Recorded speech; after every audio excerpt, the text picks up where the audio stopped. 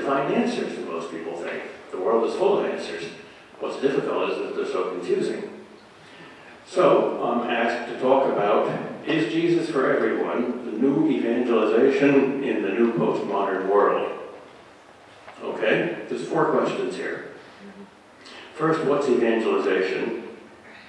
Second, why is it for everyone? Third, what's new about the new evangelization? And fourth, uh, what is this new world, this postmodern world? Well, as most of you know, evangelization comes from the Greek word evangelium, from which we get our word evangel or evangelical, and it means good news or the gospel. What is the good news? The good news is Jesus Christ. I was once talking to a bunch of priests in a seminary in Connecticut, and they were, they were, I thought, very wise and very holy. They were in a, a monastery. The abbot was a, an old, wise, holy man. Uh, afterwards, we had a great question and answer session, and I was ready to go, and he said, wait, uh, we've got to ask you one more question. Uh, every visitor that we have here, we ask this question to. I said, all right, what's your last question? He said, uh, if God said to you that he would give you any one gift for us, what would you ask? And I thought, that's such a good question, I can't fake that. I'm just going to blurt out the first thing that comes to my mind. So I said, well, I would ask that he would make every single one of you fall totally in love with Jesus Christ for every second for the rest of your life. They all started to laugh. And they were very holy people. They weren't laughing at me. Uh, they were laughing gently. at the abbot explained to me, we're not laughing at you. The reason we're laughing is last month Mother Teresa's here. That was her answer too. So I knew that was pretty good. That was divine inspiration. Well, that's the whole point of evangelization. Evangelization is spreading the good news, and it's not just news, it's like spreading an infection. You actually have this disease, but it's a good disease. And you, you spread it, you, you, you contact people with it, and eventually it's like the invasion of the body snatchers. Eventually he snatches all the bodies. And until he does, we're not finished. The Great Commission did not come with a tag saying this applies to the clergy only. This is the reason for the church's existence. This is the whole point of what the church is. The church is those who are called out of the world and into Christ to spread Christ back into the world. And does that in a number of ways. First of all, it does it by words. Because in the beginning was the Word. St. Francis of Assisi famously said, preach the gospel, use words when necessary. Which means there's other ways. Both Protestants and Catholics speak of the formula word and sacrament. The church is itself a sacrament, the big sacrament, an actual sign that effects what it signifies. The meaning of the word sacrament is a sacred sign instituted by Christ that doesn't just signify, but actually does or effects what it signifies. So it's the presence of Christ in his people. It's the body of Christ. And the relation between Christ and his body is not like the relation between a CEO and his organization. That's one meaning of head namely boss. Christ is not our boss, he's our head. And if you think of your head as 16 feet in the air, uh, commanding the body like a, a puppet, you better see a psychiatrist. Unfortunately, that's how many of us see the relation between Christ and the church. But there's a third way in which we evangelize, not just by words and not just by sacramental presence, but also by being ourselves, by being Christ, by being saints. The call to sanctity did, also did not come with a, a, a, PS. This applies only to mystics, or this applies only to monks, this applies only to a, a small minority of people. The French Catholic novelist and playwright Léon Bloy almost always put a line into each of his plays that said something like this There is only one tragedy in life, not to be a saint. Uh, Jesus himself commanded that. He didn't say, uh, This would be nice if some of you attained this ideal. He said, You, meaning all of us, must be perfect as my Father in heaven is perfect. He's not going to stop until he gets what he wants. George MacDonald said, uh, God our Father, like a good human father, is very easy to please and very hard to satisfy. That's why we Catholics believe in purgatory. You Protestants don't have to call it purgatory. We're not hung, up on the word, but God is not going to let us finish until He's finished with us. That's for sure.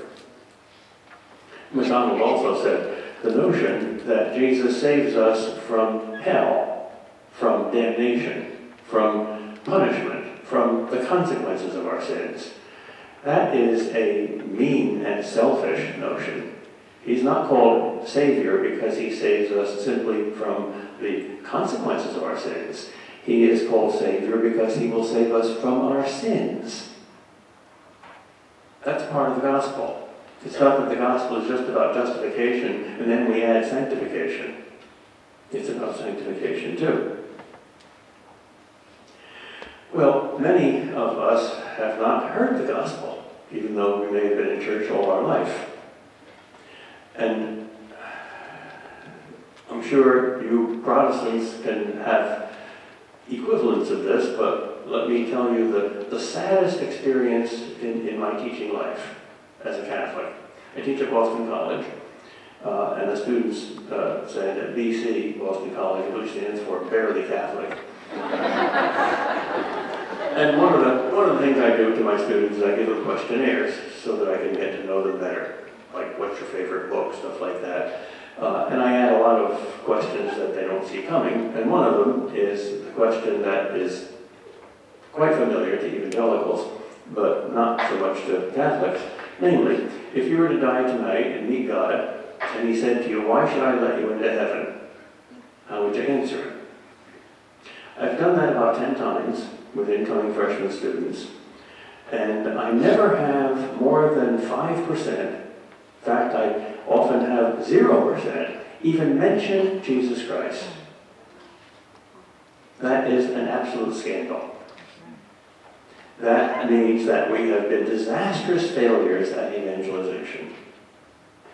That means these kids don't even know how to get to heaven. They may get in, but they'll get in as good pagans. Most of them give the world's worst possible answer, namely the answer that the Pharisees gave. We're the only people Jesus ever got mad at. Lord, I thank you that I fast twice a day, and I give money to the poor, and I am compassionate, and I have never knowingly hurt anybody, and I've tried to lead a good life. I, I, I, I, I. What have we been teaching these kids? We may have well have just kept silent. Because the answer, I don't know, is a much better answer than the answer they give. Well, as a Catholic, I think that taught me something positive as well as something negative. As a Catholic, I believe the Catholic Church is true. The only reason for believing anything is that it's true. It's the only honest reason. And this is not, I think, compromising my Catholic faith at all. But I believe that the fundamental reason for the Protestant Reformation and the reason God doesn't heal that terrible wound, which we all, whoever we are, must pray is healed because uh, a tear in the body of Christ is, is terrible. And Christ himself prayed with passion uh, in John 17, his high priestly prayer, that they may all be one.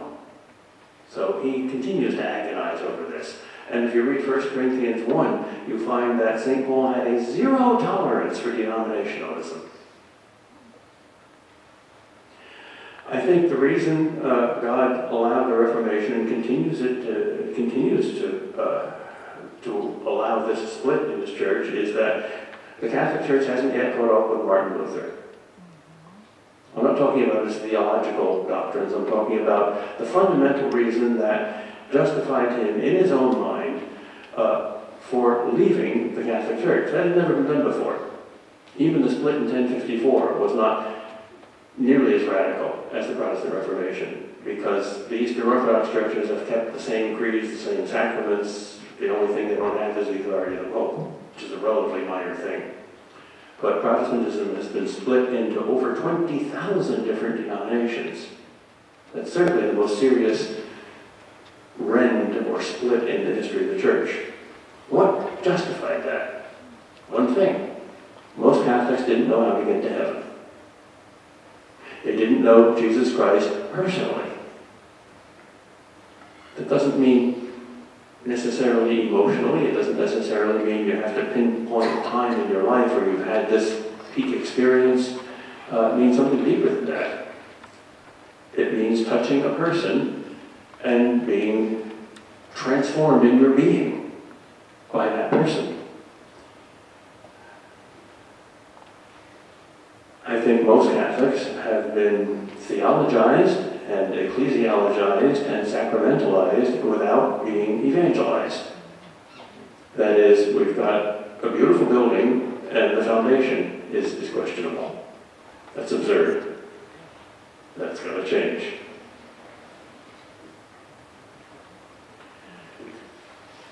It is changing. Amazing things are happening. If you ask any evangelical, check me if I'm wrong here, got hundreds of you here. What's the main reason you're not a Roman Catholic? What's the main reason you think that Protestants are right, that Luther was right? Take, pick, pick one doctrine. There's many, many things, but one thing alone. Justification by faith, right? You gotta know how to get to heaven. Well, none of the other issues have been solved yet. Not sola scriptura, not the, uh, the authority of the church, not infallibility, not Pope, sacraments, Mary. But that one's been solved. I hope you've kept up with the news. A miracle has happened. Something that nobody expected 50 years ago has happened. Namely, that Lutherans and Catholics at the highest possible level have agreed that there is no substantive essential contradiction between Luther's teaching and the Catholic's teaching on justification.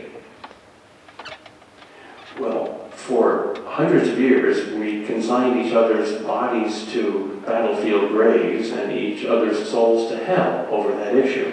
And now, suddenly, we say, there's no difference? What happened?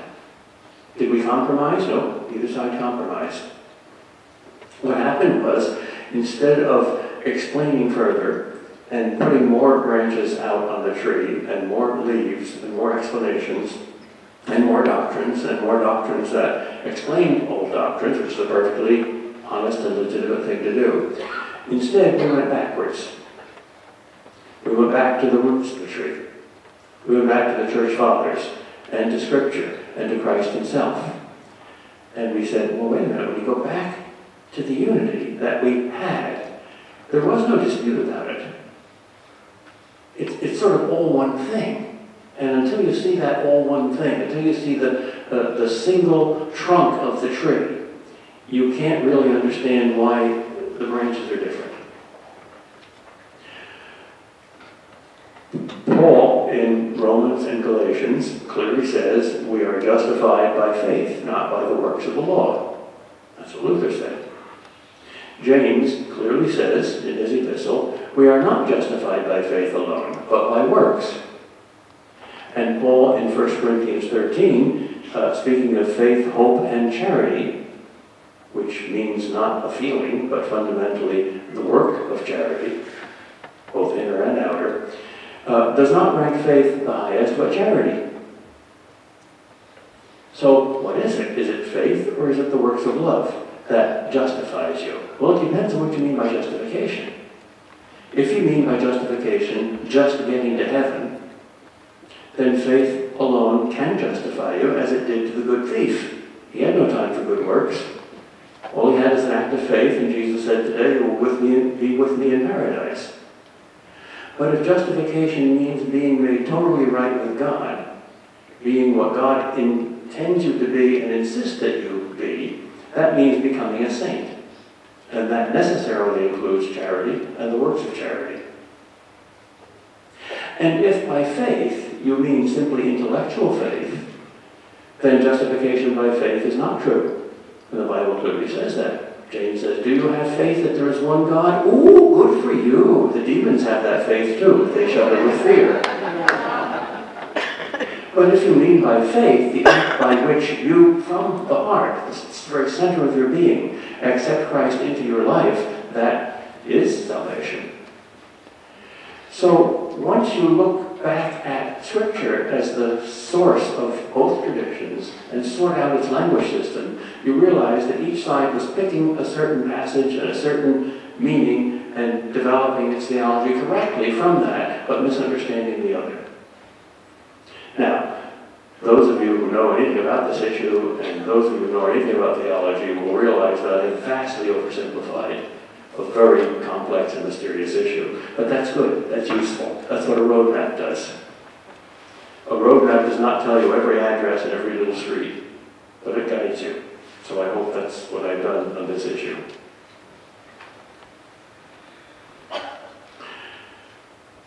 Okay, so evangelization is just spreading the good infection. And you can't spread what you don't have. Uh, if you don't know Christ yourself, know, not just intellectually, but personally, if you speak French, uh, connaître, not savoir, or if you speak German, kennen, not wissen. The English language is so weak, it doesn't have all those distinctions. If you don't know it, you can't spread it. So the very first thing, the foundation of everything, is that. And that had better be very clearly in place. Well, the next question is why is this evangelization thing for everybody? And the answer, of course, is that Jesus is for everybody. He's not just for Jews, he's not just for uh, Western civilization, he's for everybody because he is, according to the Bible itself, the light that enlightens every man who comes into the world. John 1, verse 9. Everybody. Well, what about other religions then? He also said, I am the way, the truth, and the life. No one can come to the Father but through me. So John 14.6 seems very exclusivistic, and John 1, 9 seems very inclusivistic. What's going on there? Well, as with the issue of faith and works, you have to gather all your data. You have to be very scientific when you look at the Bible. Any scientist who blinkers his eyes at one piece of data which doesn't fit his preconceived theory and just looks at the other part of data is being a bad scientist. And Christian theology has data. It's called divine revelation. And it's in Scripture. And you have to look at all the data and get them together. Is there free will? Is there predestination? Yes. How do you get them together? Well, you certainly don't get them together by ignoring either part of the data. And if you can't quite get them together yet, just keep working at it until you do. Okay, so is Christianity exclusivistic? Yeah, Jesus is the only Savior. That's why Christians can't participate in a kind of relativistic humanism. Well, Jesus is our Savior, and Muhammad is your Savior, and Buddha is your Savior. That won't do. That's a betrayal of Christ. On the other hand, everybody. Atheists know Jesus Christ. Buddhists know Jesus Christ, not by name. But he himself says, or this Apostle John says, he enlightens every man who comes into the world. Why? because he's not just a human being. This central doctrine of traditional Orthodox conservative supernaturalistic Christianity is the only foundation for a very liberal and ecumenical uh, hope for the salvation of non-Christians. And it's all in Romans 1 and 2, where, where Paul says even the pagans who have never heard the gospel, they know God because they have reason and conscience. And that's not just a human power. That's a participation in the mind of God and in the heart of God. And when you, when you see the order in nature, you're seeing the work of God. And when your conscience tells you there's an absolute obligation to be good and not evil, that's a prophet sent from God. And all our knowledge of God comes through Christ. He says that himself. No one can know the Father but by me. So when Socrates knows all these great moral and ethical and, and philosophical truths, Jesus Christ is illuminating him. He's in contact with Christ. It's not that Christ is just a 33 year long, six foot high Jewish carpenter known by a few thousand Jews. He's the mind and heart of God known by every single human being who is a human being who has ever been born into the world. Well, what does that mean about who's going to be saved? We have no idea. When the disciples asked Jesus, Lord, are many going to be saved? They probably thought, let's see, if he says it's 10%, we'll sweat. If he says it's 90%, we'll relax. If he says it's 50%, we'll be a little confused. But at least we'll have the data. Before he goes back, let's get some comparative population statistics better than that. You recall his answer? Strive to enter in. Wrong question. We're told what we need to know. So we have no idea. We know the way. We don't know how many people are going to make it to the end.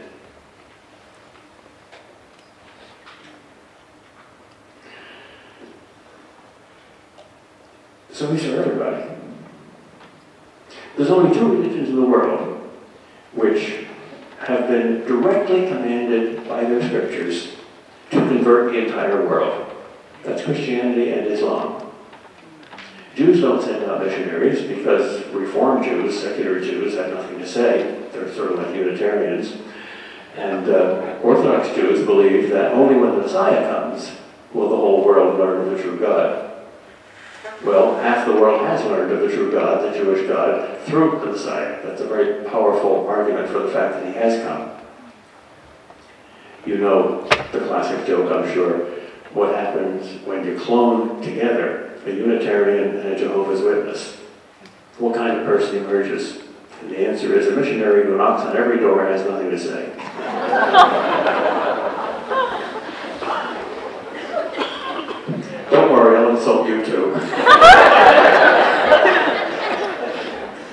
I love, I love Canadians. You're so polite. You sit there and smile when we Americans insult you. I was born 18 miles from New York City. I'm an expert at insults. You're so apologetic. You even apologize for apologizing. Please abuse me. That's okay, just don't keep saying it to your government. Next question. What's new about the new evangelization? Well, it's not a new evangel, it's a newization.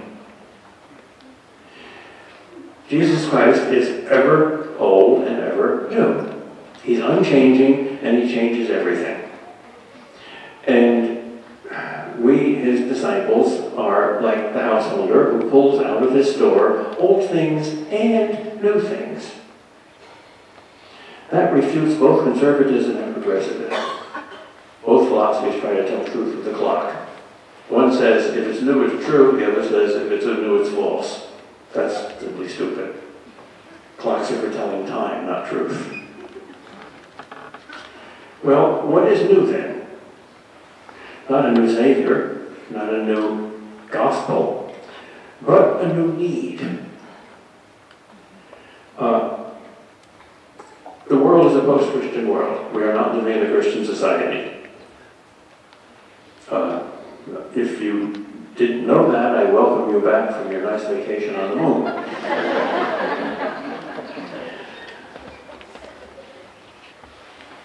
We have already seen in the church many agencies that are responding to that new need, both among Protestants and among Catholics. We've seen, for instance, the Navigators. We've seen Focus, a group of Catholic missionaries who send out missionaries to uh, the new darkest Africa, universities. Not only do we have a new need, we have new methods. Technology keeps changing and almost automatically progresses. And it's right for the church to keep up with all these new methods and means. It's neutral, they're not evil, they're not necessarily good. So the social media, for instance, offers a, a, an enormous opportunity for new good or new evil. So we've got to step in before the enemy steps in. There's also a new actor, a new subject, as well as a new object. Not only is there a new need and new objects, the world, but the people who evangelize, who are they? Well, we used to think those are missionaries, or those are, are priests and monks and nuns, or those are professional teachers, those are the clergy. No, they're the laity. The clergy are there to serve the laity, not vice versa. If you could choose between tragedy number one, every single ordained minister and priest and nun would die. Or tragedy number two, every single layperson would die. The whole world would be full of nothing but ordained ministers and priests and nuns. Which would be more ridiculous? The second would not be. You had no church. You'd have a restaurant with no customers. But a customer without a restaurant can still make some sort of a restaurant. So it's the laity, mainly, that are doing the new evangelization. In other words, everybody. But finally, what's this new audience? What's this new postmodern world? Why do we call it postmodern? What does that mean? Well, as those of you who have studied history must know, uh, everybody, as far as I know, still basically divides the history of Western civilization into three eras, ancient, medieval, and modern. We're no longer in any of those eras. We're no longer in the modern world. The modern world is dead. The modern world is basically uh, the world of the Renaissance and the Enlightenment and the optimism that emerged from scientific and technological progress and the development of, of, human reason as the way of solving all human problems, and the reliance on, on humanism and on human effort. Uh, and that died. It died in Hiroshima, and it died in Auschwitz, and it died in Flanders Fields. And it's dying all around us. So, what's postmodern? Well, we don't know. We know what it's not. It's not modern. Before ancient civilization arose, there were thousands and thousands of years of human history. What we mean by ancient civilization is basically classical Greco-Roman civilization. Civilizations that were like shining beacons in, in a world of, of primitivism and barbarism. But that primitivism and barbarism had very little structure. There's a lot of things you can learn from it, I don't mean to insult it, but uh, it was a little bit of everything. And then emerged something very definite, Greco-Roman civilization, which joined with Judeo-Christian civilization to produce medieval civilization, which is essentially a marriage of those two. And then the marriage came apart in the Renaissance and the Reformation, and the secular part of it produced the modern world. And now we're in the postmodern world, which means what? Which means we're back in the primitive situation. We don't know where we are. Everybody is confused. I teach philosophy. It's very easy to teach ancient philosophy. It's got a nice storyline. It's even easier to teach medieval philosophy. It has a nice unified storyline. It's pretty easy to teach even modern philosophy. That has a storyline, although it's a little more complicated. But what's contemporary philosophy? What are the main geniuses? What are the main ideologies Uh, what are the main issues? Well, it's all sorts of stuff. Nobody knows. The still currently fashionable philosophy in most Western universities is some brand of deconstructionism. And I can't tell you what deconstructionism is because I don't understand it, and I don't think they do themselves. You know, the joke about the, uh, the, the mafia godfather who uh, married a deconstructionist uh, wife, and they had children who grew up to make their parents an offer they couldn't understand.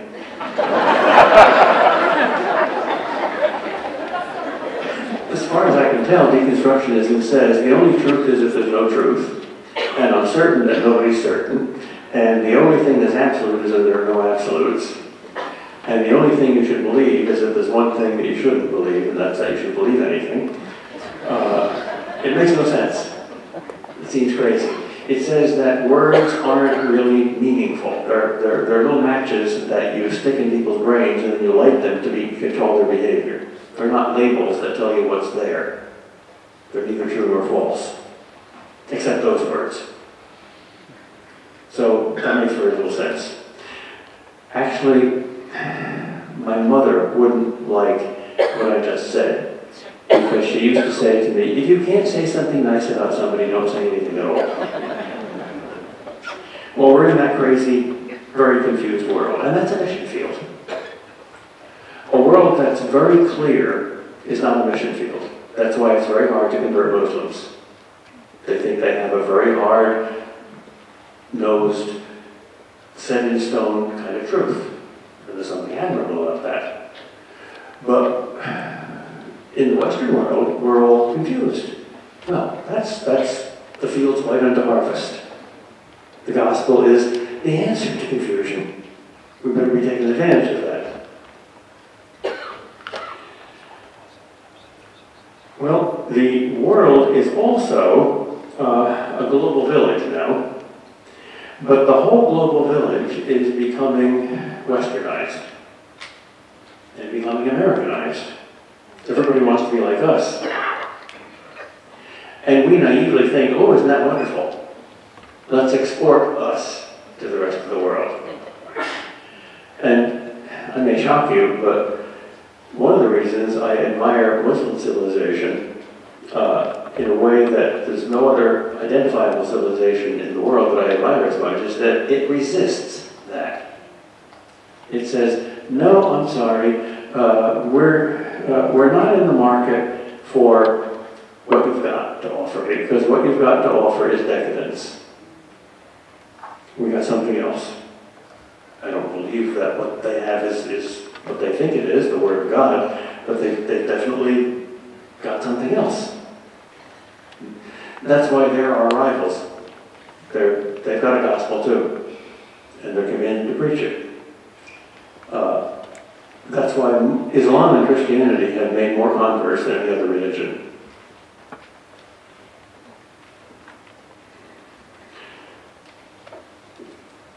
This Western world has lost not only faith, but the very sense of the sacred.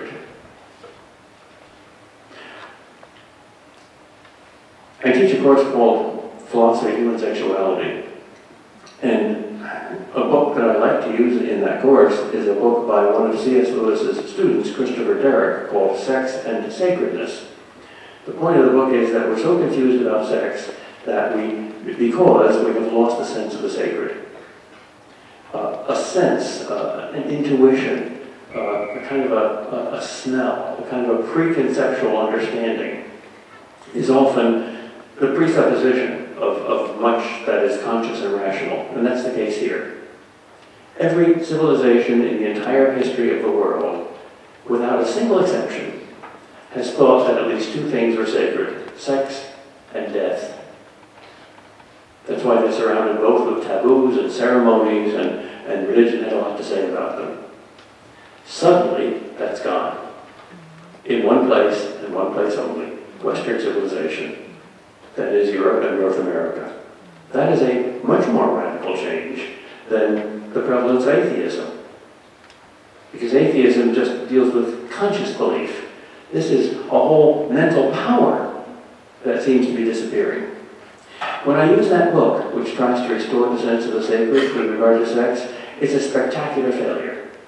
Nobody understands it.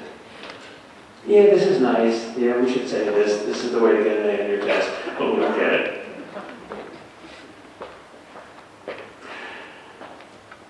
I didn't want to do this, but I think I should.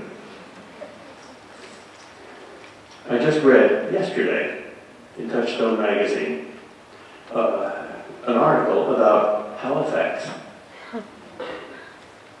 And I'm sure you're familiar with this, but the, the take on it, I think, is, is so relevant. And I think this is a kind of a providential thing. Sometimes I feel the angels moving the scenery on the chessboard. This is from Touchstone magazine, uh, kind of a news article with, comment by Anthony Esolen. A few days ago in Halifax, Nova Scotia, a teenage girl was taken off life support. She had hanged herself, driven to it by two years of humiliation at the hands of the worthy young people in that wealthy and progressive city. The facts in the case are hard to determine because the event that brought on the suicide was not fully investigated by the police. The girl, I will call her Jane Smith, was at a party at a friend's house. It wasn't a party at which you play Frankie Avalon records and dance and eat ice cream and talk about the baseball team. It was a party at which you get yourself blind drunk or stoned on pot and do disgraceful things in public in a state of nudity. That's what Jane did, and it was not a new thing in her life. According to testimony accepted by both the Crown, which is now prosecuting two of the four boys accused of rape, and the defendants, there were at least half a dozen young teenagers at the party having sexual intercourse. Well, that's not shocking. That goes on in America just as much as in Canada. It goes on on the campus of Boston College. It's called the hookup culture. It's very difficult to shock young people nowadays, but telling the truth is the best way to do it. Sometimes I tell my students, uh, the boys, welcome to the place of your dreams. Welcome to Boston College. This is a free whorehouse. Nobody's refuted that. They're, they do not like it, but nobody's refuted it. That's what it is. Jane's friend told police at the same time that she had tried to get Jane to leave, but she wouldn't. She had already had intercourse with two boys, and she was thoroughly drunk. The friend left the party and returned with her mother. Still, they could not persuade Jane to leave, so they gave up. But the boys didn't. Sometime later that night, while Jane was vomiting out the window, one of the boys took a picture of another boy penetrating her from behind and posted it on social media. The word social is deliberately put into quotation marks there. When Jane learned about the photo, she went to the police and claimed she had been raped. The police determined there wasn't sufficient evidence for prosecution. Girls at her school turned against her and called her a slut. Boys texted her and subjected her to obscene taunts and proposals. So she left Halifax for a while and received psychological treatment. But she returned to Halifax and to that hotbed of hard-heartedness, cruelty, lust, and revenge known as Cole Harbour District High School. And that proves fatal for her. What strikes me in this case is that there is not a single sensible adult in sight. Everyone is calling for the law and school programs, the arm of the law, to do something, something, anything, to keep such tragedies from occurring again. Says Marilyn Moore, we're to blame because the boys haven't learned to respect women. She's the provincial minister in charge of women's issues. But these boys have been drilled in feminist dogma since kindergarten. They've also been taught, since they were still singing boy soprano, that sex is for recreation, as long as you top off the banana split with a dollop of responsibility. A feint towards niceness, having nothing to do with marrying or having children, or perish the thought, the law of God. In other words, these are the monsters you have raised, Mrs. Moore. You have made a jungle, and now you are surprised to find roots in it. The far-left premier of Nova Scotia, Darrell Dexter, wants to make it illegal for someone to post an intimate photograph without permission. Sure, whatever. Jane's mother wants to meet with the Prime Minister, Stephen Harper, to see to it that no girl, or boy presumably, will have to suffer what her daughter suffered. How can this happen by legal mechanism? Applied from Ottawa, 2,000 miles away. Mrs. Smith did not address her own failure, which is much closer to home. She and Jane's father do not share the same name or the same house. It's hard to ferret out from the Halifax Chronicle Herald whether they were divorced or never married at all, which is no surprise since the feminist go-go Canada no longer bothers to keep statistics on divorce. You don't believe in marriage, you don't believe in divorce. In either case, Jane, tattooed and tongue-pierced, regular party-goer, living a heartless and dissipated life, held up as a model for pleasure-seeking Canadian youth, never learned that there was any such thing as a connection between love and modesty, or holiness, or sex, or the beauty and indissolubility of marriage, or the raising of children. Not a single account that I've read expresses dismay that there was such a party at which people were doing such things. And does their age really matter? Does depravity, like wine, grow fine with age? The real problem is not legal.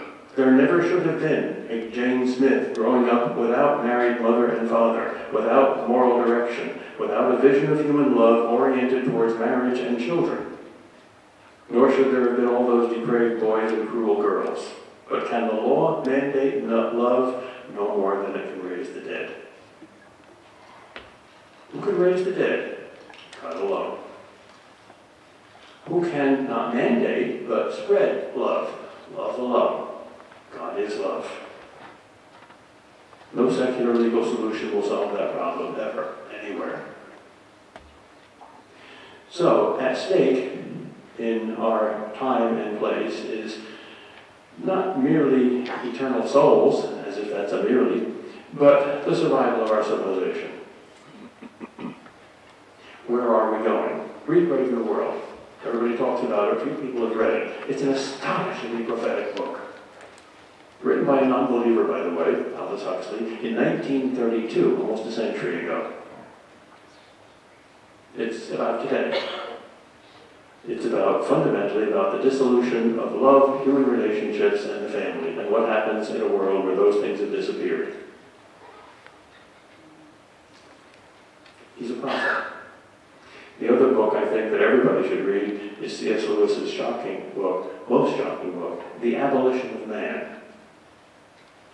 He argues that the kind of human being modern education is increasingly producing is not a man.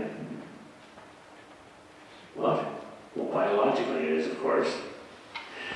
Nietzsche argued that man can become Superman a new species, not biologically but spiritually. If he ceases to believe in God and therefore in morality, then he will not have a conscience and he can be God himself, and this is wonderful. And is the other side of Nietzsche. He says, Nietzsche's right. That's what we're doing. We're, we're doing a conscience activity. We're producing clever, trousered apes. And they we're surprised that they behave like apes. Well, that's something that can be solved by what? What, what less than the real presence of God can solve that deep-seated problem? Nothing. And what is the real presence of God? Jesus Christ. He who has seen me has seen the Father. So even if you're not concerned with your eternal soul, but you're concerned for your civilization, you better be a Christian. Because the appliances are going out, and that's where all the electricity is.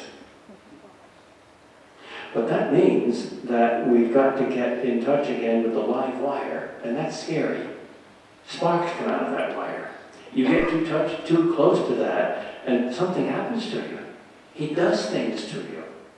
Aslan is not a tame lion, remember? The real presence of Christ always offends people. Jesus Christ was not a Canadian. Jesus Christ was a lower New York East Side Jew.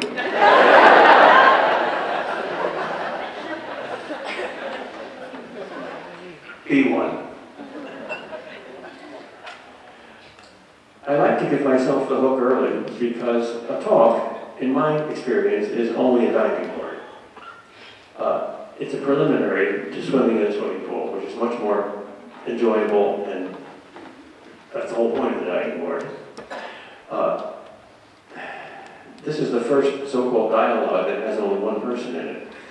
So, I don't like that. So, now comes uh, something that's closer to the very life of God. God is not alone. He is not only one person. He's three persons in endless dialogue. So, the question and answer session, by Trinitarian standards, is closer to the nature of ultimate reality than any monologue. So I will end my heresy, and now uh, I, I.